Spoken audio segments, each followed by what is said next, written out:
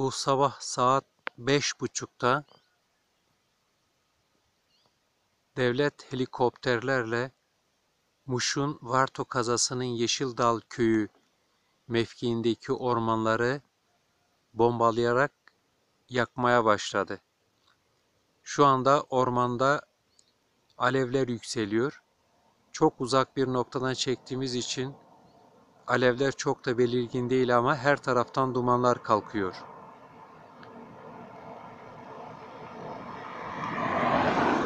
Aynı zamanda yine Muş'un Varto kazasına bağlı Kulan köyünde devlet bu sabah panzerlerle köyün etrafını kuşatmış bir durumda.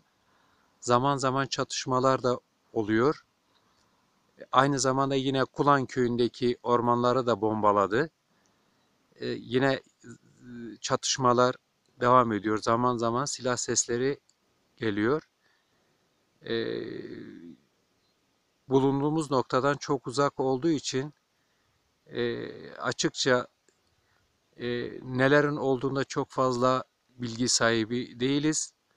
Ama e, aldığımız bilgiye göre e, oldukça e, kötü durumlar var.